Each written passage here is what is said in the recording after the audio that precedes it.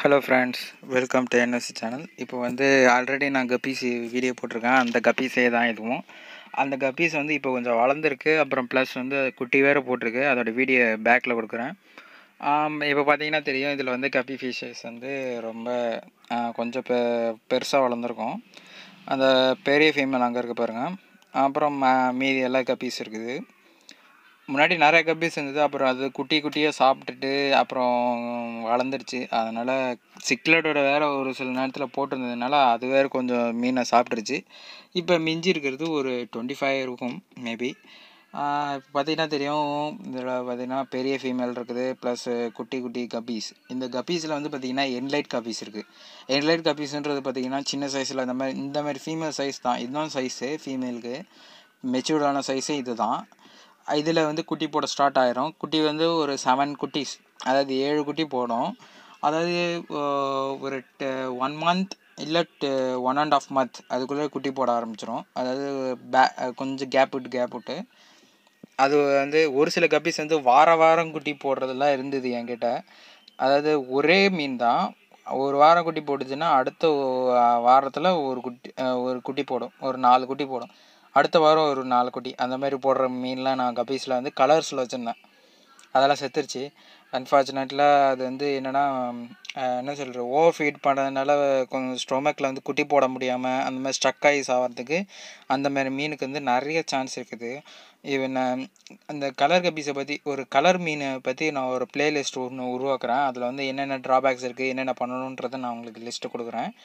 இப்போ பார்த்தீங்கன்னா தெரியும் இதில் வந்து மேல் வந்து பார்த்திங்கன்னா ரொம்ப சின்னதாக தான் இருக்கும். ஃபீமேலோட எப்பயுமே அது எல்லா மீனுக்கும் அதே தான் இந்த கப்பீஸில் வந்து பார்த்திங்கன்னா மேல் வந்து ஆனல் ஃபின் வந்து ரொம்ப பெருசாக இருக்கும். ஃபீமேலுக்கும் நான் அந்த ஃபின் வந்து அதாவது கீழே இருக்கிற ஃபின் வந்து கொஞ்சம் பெருசாக தான் இருக்கும். அது இது மேல் இந்த என்லைட் கம்பீஸில் வந்து என்ன ஒரு ப்ளஸ்னால் அது கண்ணுக்கிட்ட ஒரு கோடு வரும். ஏதாவது கண்ணில் கிழிச்ச மாதிரி ஒரு கோடு வரும். அதுதான் ரொம்ப அழகாக இருக்கும் இதுலேயே. இந்த மீனில். இந்த கப்பீஸில் பொறுத்த வரைக்கும் பார்த்தீங்கன்னா கிராஸ் பெட் பண்ணலாம். அதாவது நம்ம ப்ரீடு சூஸ் பண்ணணும். ஹைப்ரிட் ரொம்ப ஹைப்ரிட் சூஸ் பண்ணிங்கன்னா அதோடைய அது வந்து மேட்டிங் ஆகிறதுக்கு முன்னாடியே ச சான்ஸ் இருக்குது இந்த கபீஸை பொறுத்த வரைக்கும். இந்த க நீங்கள் சூஸ் பண்ணுற ப்ரீடு வந்து எப்படி தரமாக இருக்கணும்? ஒரு லாங் ஃபின் அதாவது லாங் ஃபின்னாக இருக்கலாம். அதாவது இல்லைனா ஷார்ட் ஃபின்னாக கூட இருக்கலாம். அது ஒன்றும் பிரச்சனை இல்லை. ஆனால் வந்து மீன் வந்து பார்த்திங்கன்னா நல்ல ஹா- ஆரோக்கியமான மீனாக இருக்கணும். மேல் வந்து ரொம்ப ஹெல்த்தியாக இருக்கணும். ஃபீமேல் வந்து நம்ம இந்த மாதிரி நேட்டிவில் உள்ள பிடிச்ச ஃபீமேல் ஒன்று போட்டிங்கன்னா கண்டிப்பாக ப்ரீடிங் வந்து கலர் மீனாக கண்டிப்பாக வரதுக்கு நிறைய சான்சஸ் இருக்குது நான் இது வரைக்கும் ப்ரீடிங் பண்ணல. ஏன்னா எனக்கு டைம் இல்லை. பட் நீங்கள் பண்ணிவிட்டு நீங்கள் ஒரு அந்த மாதிரி ஆயிருக்கு அப்படின்னு சொல்லி அதோடய ஃபோட்டோ இல்லை வீடியோஸ் எனக்கு ஏதாவது சென்ட் பண்ணுங்கள் நான் வந்து பார்க்குறேன் அப்புறமேட்டு இதில் வந்து ஃபீமேல் வித்து க அதாவது கலர் ஃபீமேல் வச்சுக்கிட்டு மேல் கூட நம்ம இதுலேருந்து ப்ரொடியூஸ் பண்ணலாம். அதுவும் நல்ல இம்யூன் சிஸ்டத்தை கொடுக்கும். என்ன மேல் வந்து இதில் வந்து மேலும் ஃபீமேலும் சின்னதாக தான் இருக்கும் சைஸ் மேக்ஸிமம் சைஸ் வந்து சின்னதாக தான். ரொம்ப பெருசாலாம் ஆகாது. அதனால் நீங்கள் வந்து பெருசாக ஆகணும்னுலாம் எதிர்பார்க்கவே முடியாது இந்த மீனில். நீங்கள் வீட்டில் வளர்க்குற கபீஸ் பார்த்தீங்கன்னா கொஞ்சம் பெருசாக இருக்கும்.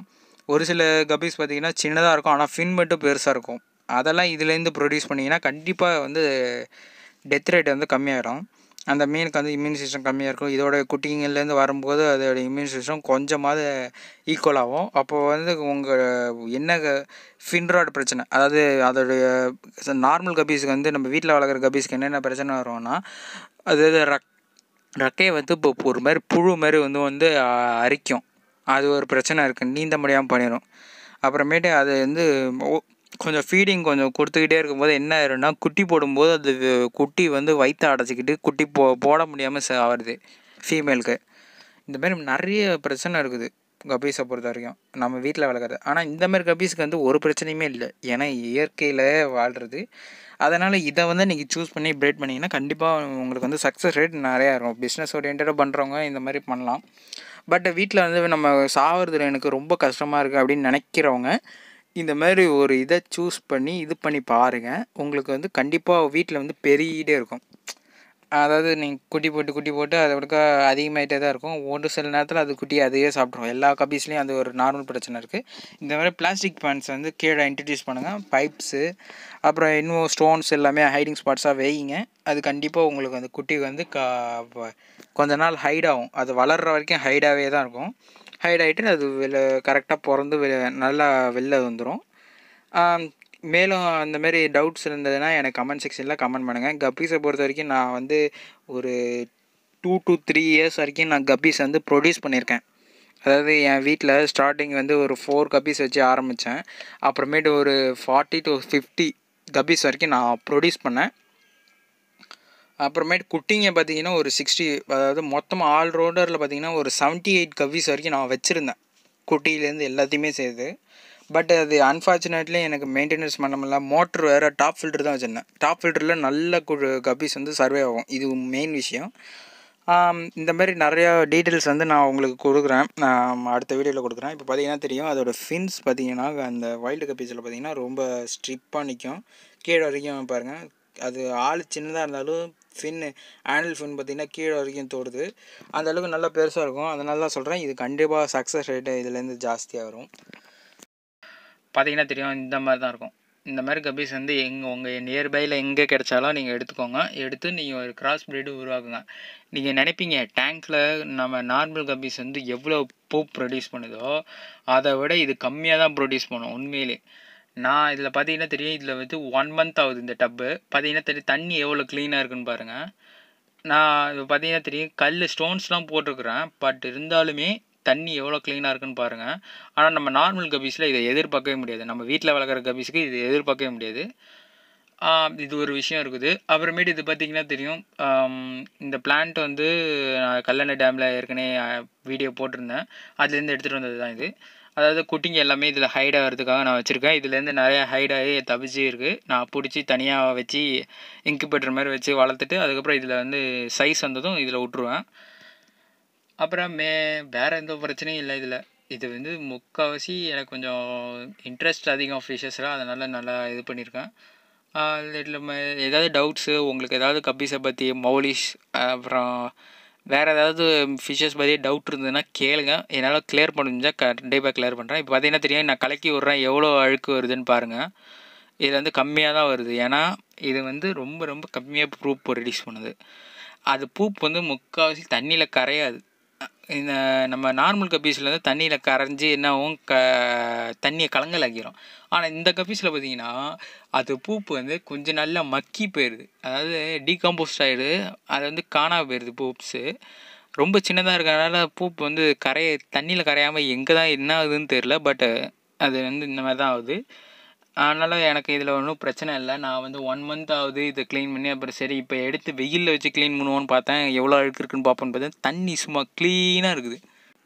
அப்போ இதை பார்த்தீங்கன்னா தெரியும்? இப்போ வந்து ஐரமீன் இருக்கேன் ஐரமீன் பார்த்தீங்கன்னா இது கூட வந்து ஸ்விம் பண்ணுறதோ அது என்ன ஆகுது? நார்மல் ஆகிடுச்சி கப்பீஸ் எல்லாமே இப்போ வந்து அதுக்கு இதுக்கும் அலையாமல் கொஞ்சம் நார்மலாக இருக்குது ஐரமீன் வந்து பார்த்து பொறுத்த வரைக்கும் ஏற்கனவே ரிவ்யூ வீடியோஸ் போட்டிருக்கேன். நான் மேலே அந்த டிஸ்கிரிப்ஷன் ஐக்கான் கொடுக்குறேன் பாருங்கள் அப்புறம் ஐரமீன் பொறுத்த வரைக்கும் ரொம்ப டெட்ரா வெரைட்டி நல்லா ஷா வேகமாக நீந்தும். அது எல்லாமே அதில் சொல்லியிருக்கேன். நீங்கள் அதில் பார்த்து தெரிஞ்சுக்கோங்க. ஐரமீன் பார்த்து தெரியாதவங்க அதில் பார்த்து தெரிஞ்சுக்கோங்க. இது வந்து இப்போ கபீஸோட சேர்த்து விட்ருக்கேன் அதனால் வந்து கபீஸ் வந்து கொஞ்சம் நல்லா முன்னாடி முன்னாடி வந்து வருது. பார்த்தீங்கன்னா தெரியும். மற்றபடி இது ஒன்றும் பிரச்சனை இல்லை. இப்போ வந்து நான் வந்து இது ஃபீமேல் வந்து குட்டி போட்டிருக்குன்னு சொன்னேன். அந்த குட்டி போட்டிருந்த ஃபீமேலோட வீடியோ இதில் அட்டாச் பண்ணுறேன் அதை பாருங்கள் இதில் பார்த்தீங்கன்னா தெரியும் இப்போ வந்து கப்பீஸ் வந்து இப்போ இந்த மீன் வந்து குட்டி போடுது. அந்த ஸ்டோன் அடியில் வச்சுருக்கேன் ஹைடிங் ஸ்பாட் மாதிரி அது வந்து அடியில் பூந்துக்கிட்டு நிற்கிது இப்போ வந்து அடியில் பூந்துக்கிட்டு நிற்கிதா இப்போ வெளிச்சம் அடிக்கிறேன் பாருங்கள் இந்த பாருங்கள் பேபி வந்து பின்னாடி நீ இருக்கிறது தெரியுதா? ஃப்ரீஸ் பண்ணுறேன் பார்த்தீங்கன்னா தெரியும் பேபி பின்னாடி இருக்கிறது. பாருங்கள் பேபி வந்து பின்னாடி எட்டி பார்க்குறது இதுதான் இது ப்ரீடிங் கொடுக்கும்போது நான் பார்த்தேன்.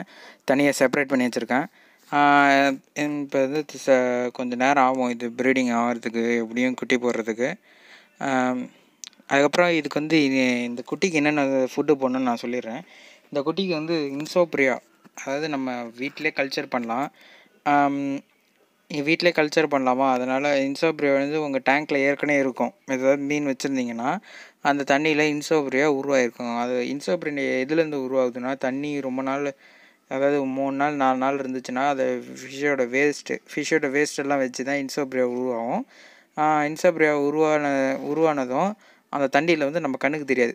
அது வந்து க்ளீனாக இருக்கிற மாதிரி தான் இருக்கும். தண்ணியை வந்து நல்லா பிடிச்சி வச்சுட்டு சைடில் டார்ச் லைட் வச்சு அடித்து பார்த்தீங்கன்னா உங்களுக்கு நிறையா தெரியும். இப்போ குட்டி வெளில வந்துருச்சு. இப்போ வெளில வந்த உடனே அது திருப்பிக்கிட்டு வந்து அது கடிக்க வரும். அதுக்குள்ளே அந்த மீனை நம்ம விரட்டி விட்றணும் கொத் ஒரு சின்ன ஆற இன்ஸ்ட்ருமெண்ட் வச்சு விரட்டி விட்டுட்டு அந்த குட்டியை இப்படி நவுத்தணும். லைட்டாக நவுத்துங்க அந்த குட்டியை வந்து டேமேஜ் பண்ணிடக்கூடாது. ஏன்னா குட்டி வயிற்றில் வந்து ஹார்ட் பீட் வெளில தெரிகிற அளவுக்கு எக் இருக்குது.